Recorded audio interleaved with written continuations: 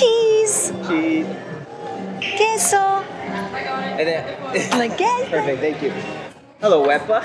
My name is Noah Godfrey. I'm here with Teria Morada, and we're here to discuss about her single and her performance here tonight at Lula Lounge. Deria, how are Hi, you? good. How are you?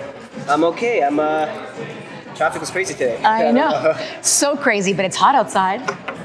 That's probably why traffic was crazy, to be honest. That's probably why everyone's like, "Let's go to the beach." everywhere. You know? Get me out of my office. Thank God. But um, anyway, so we're here tonight Yes. for your performance. Yes. How are you feeling about this? I'm very excited. I'm very excited. I've been waiting a while for this one, and I love Lula. Lula's like home for me.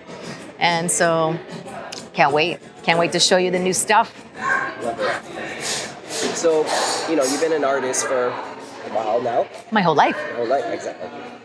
Wow. Yeah. so you've been a professional your whole life. Well, I mean, I started like I started training when I was a little girl, like when I was three. Yeah. But I'd say that I became a professional at eight. Was the first time I got paid to perform. Mm. So since then, since eight years old, yeah, From eight to present. yeah. Five years ago. of course. Where, what would you say were the challenges you faced? Okay, so as much as I'd like to say being a female in the industry is not a thing, it is a thing. So sometimes you get the, you know, male female thing happen every now and again, but it's not crazy. Yeah. It's just something that is kind of there, but it's not with everybody, obviously. Um, I get some crazy things happen to me, like some bad, like uh, juju, like uh, mala suerte kind of thing, sometimes. But I feel like there's so much good that happens. You always have to kind of yin yang it. Like there's always going to be a bad. So the bad sometimes is minimal, but it's kind of like you have to feel this to feel this. So it happens. Like, you can't always be feeling good and positive. You need to have those, I guess, setbacks outside to Yeah. pick yourself up even more. It also, it also, I think, makes you appreciate the good stuff more because you know, you know. Amen to that. So yeah, there's lots of things. There's so many to talk about. I don't think I could really pinpoint one specific story, but in general, you know, those are those are obstacles that you know sometimes you come across as an artist. And I'm a singer, and I'm a dancer, and I'm an athlete. So I have like three different and choreography, I guess, is lumped into dance, but you, you, in different industries, a little bit different. But as a musical artist, sometimes you deal with ego. you know, Tell- Tell me about it. so. Well, you know, speaking of all these setbacks and challenges, let's talk about your ups, which is your song. Kissy kissy tell me, a little bit about your song with uh, Choclair and Alonso and uh, just how, how it went. Like, So, a couple of um, years ago, well, actually, more than a few years ago, I had this idea of doing a Mediterranean kind of fusion song with a lot of languages uh, Spanish, Italian, speak Portuguese. I do. So, Spanish, Italian, Portuguese, Greek, Arabic, French. Actually, in the original, there's actually some Farsi in there as well. But um, in the version that we do now, which Alonso heard it at a listening party, and he was my producer like way back when. Yeah, yeah. And we hadn't, I moved to LA. I was living in LA for 12 years. So when I came back, we bumped into each other in a parking lot. And it's not like we had bad blood or anything, just we kind of lost touch after many years. Yep. And he heard my song, he heard my whole album, and he was like, there's something about this song. So he redid the beat, and because I did it a little bit ethnic, like I had like lots of congas, I had uh, bouzouki, a Greek guitar, um, I had an accordion, kind of having that um, almost kuduro sound in there, Yeah. and um, he made it like a pop dance version. And he's like, you know what?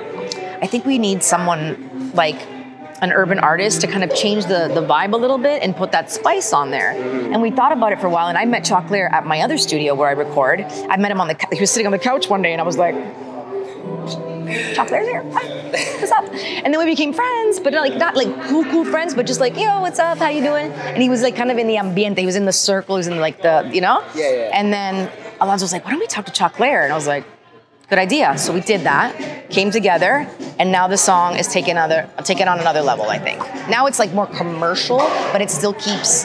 The, la- I kept most of the languages in there. I was gonna say, I, I, I was listening it today, and I was like, I vibe with this. Yeah, and I can hear, I hear the different languages, and I'm like, okay. But it's but it's something that you could like. It's languages like bon voyage. Everybody knows a bon voyage. We live in Canada, right? So French, and like I, I tried to keep words that people would recognize. Like in Arabic, I say yallah. Yeah. you know, and Habibi Hayati and stuff like that. So I wanted people to be able to understand. And then also people when they're in the crowd, like tonight there's gonna be all kinds of different people. I want them to go, oh, that's my language. Oh, that's my language. You know, like like I want everyone Exactly. unity, inclusivity type thing. I didn't do every language in the world, but I did languages that That's for your next are, are in my yeah are in my background and or cultures that are in my background or in my surroundings. And here we are.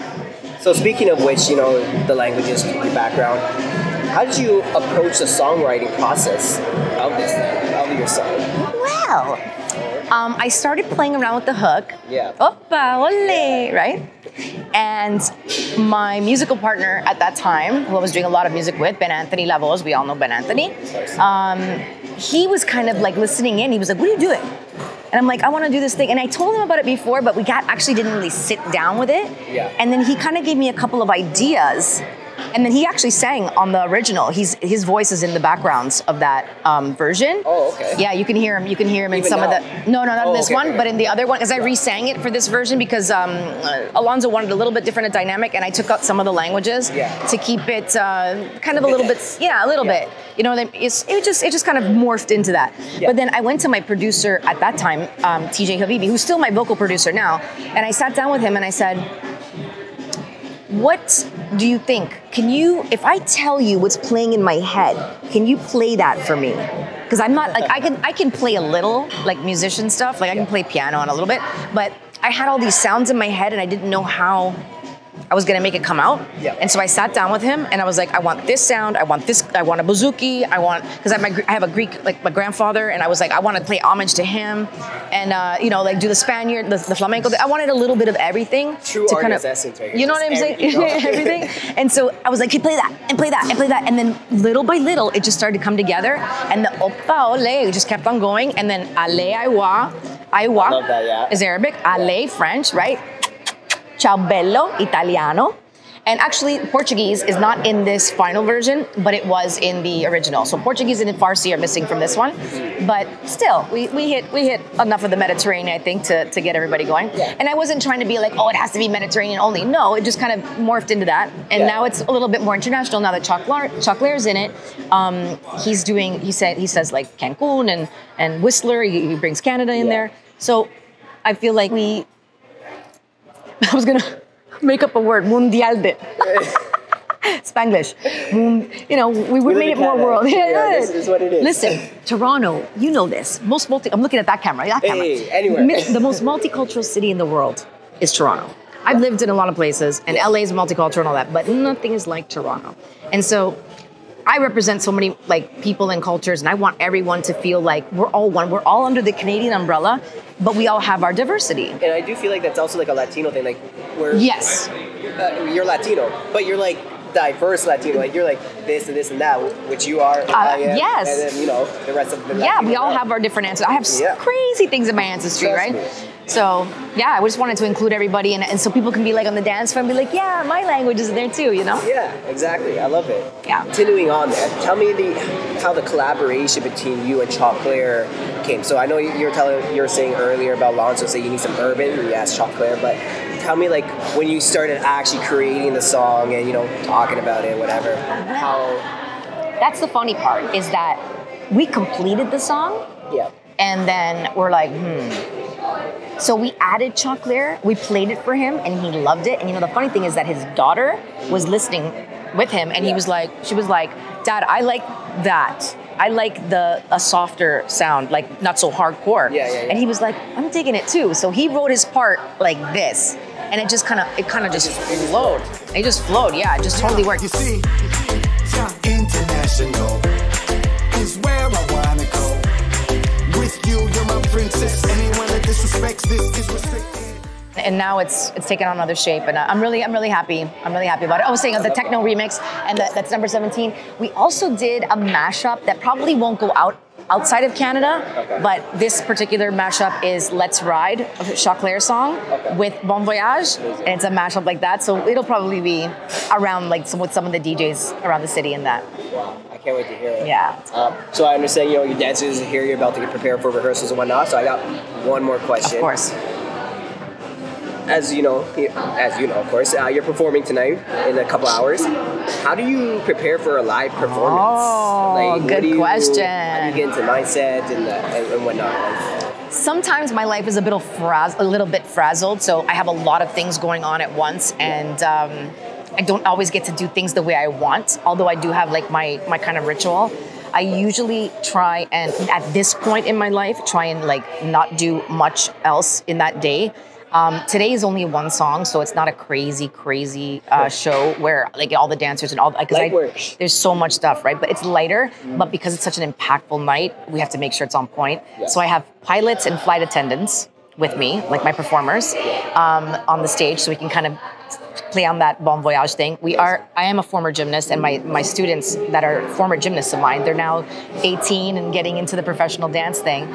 We are going to do a, a gymnastics little tiny thing at the beginning. I'll just give you that much. And um, the dancing is actually a little bit more chill than what I'm known for. It's um, it's very diverse, and you're going to see all the different languages, the culture, the dance that goes with it. Exciting. However, it's a little bit more low key than I'm normally like whipping my hair around. I'm going to keep it a little bit more chill today because there's more stuff to come, and you'll have to come out and see us live again, right? you heard it here first, Wehpa. Yeah. But don't worry, we'll capture the performance so you can see everything about her. Yeah. And yeah, that's pretty much it. Amazing. Honestly, thank you so much for doing this uh, interview with us. Wehpa thanks you. Wehpa is the future. Okay, el futuro. Wehpa. Wehpa, Wehpa. You know I sing your name in my song. You do. You give us. Give us a shout out. What up? I love it. But thanks again, Teria, for everything. I appreciate it. I can't wait for the performance. And everyone, go listen to her new song, Bon Voyage. It's out on, well, every streaming platform. Yeah. All right. Peace. Oh, Actually, zoom in a bit.